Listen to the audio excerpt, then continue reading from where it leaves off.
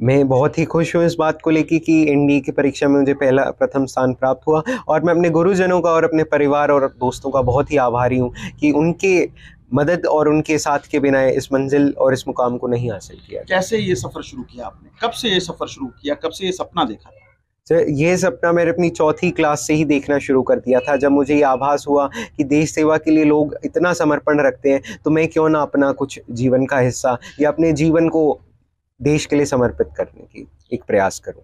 नहीं कहाँ पे आपने क्या कौन से सैनिक परिवार को देखा? कौन सी ऐसी वो प्रेरणा थी जो आपको इस मुकाम तक लेके आई? सर कहीं ना कहीं हमारे गाँव में बहुत सारे शहीद परिवार हैं। उनके स्ट्रगल को देखते हुए इंसान को ऐसा लगता है कि हाँ उसके अलावा मैं ये कहना चाहूँगा कि बहुत सारी मूवीज़ भी बन चुकी हैं और बहुत सारी कथाएँ भी सुनने को मिलती हैं, जैसे कैप्टन विक्रम बत्रा सर के बारे में या फिर संदीप उन्नी कृष्णन सर के बारे में। उनकी बहुत ज़्यादा प्रेरणा होती है कि फिर युवा को लगता है कि हाँ हमें भी अपने जीवन को इस, ऐसी चीज़ों में लगाना चाहिए ताकि जीवन एक मतलब का कुछ बन सके कि कुछ जीवन का भी मूल्य रहे। अनुराग प्लस टू की अभी परीक्षा आपकी आपने दी है रिज़ल्ट नहीं आया और आपका सिलेक्शन हो गया।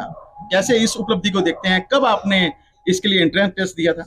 सर चार सितंबर 2022 को मैंने इसके लिए एंट्रेंस टेस्ट दिया था और उसके तत्पश्चात मेरा एसएसपी इंटरव्यू जनवरी में हुआ था। यानी प्लस टू की और एनडीए की तैयारी साथ साथ चल रही है। बिल्कुल सर। यही हमें एक मेच्योरिटी भी लाने में बहुत मदद करता है कि हम कैसे अलग अलग चीज़ों को साथ में मैनेज करते हैं।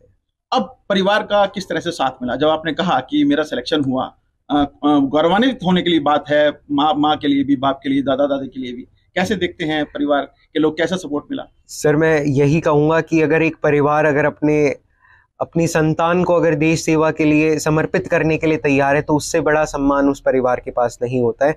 और अगर परिवार आपको ऐसी चीज़ में जाने के लिए बहुत साथ देता है तो इससे बड़ा उनकी ओर से आप कोई सपोर्ट एक्सपेक्ट नहीं कर सकते। अनुराग, एक कमेंट आपको, आपके प्रिंसिपल द्वारा भी किया गया था कि दो नावों में पैर। क्या कुछ वो कमेंट था और ऐसे कैसे आपने सार्थक करके दिखाया था? आप क्या आपका क्या कुछ जवाब था उसमें? सर मैं उसे कमेंट ना ट्रीट करके मैं उसे मैम का एक कंसर्न ही बोलूँगा कि वो मेरे बारे में कंसर्न थी। वो चाहती थी कि अनुराग दोनों फ़ील्ड में काफ़ी अच्छा करे।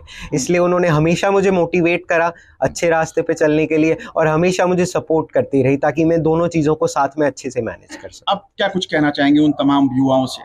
मैं सभी युवाओं से बस यही गुजारिश करना चाहूँगा कि अगर आप देश सेवा जैसी भावना अपने मन में रखते हैं तो फौज ज्वाइन करके या ज्वाइन करे बिना पर अपने देश के लिए हमारा समर्पण सदैव रहना चाहिए। जय हिंद जय भारत। अच्छा आप तो अधिकारी बन जाएँगे और जो बच्चे फौज के लिए तैयारी कर रहे हैं अग्निवीर योजना को किस तरह से देखते हैं आप?